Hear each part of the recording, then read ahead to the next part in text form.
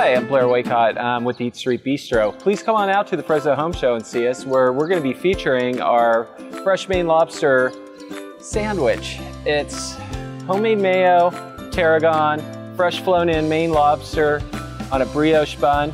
It's delicious. Please come see us. The food trucks are coming to the Fresno Home Show at the Fresno Fairgrounds. Discount coupons and show information at fresnoshows.com.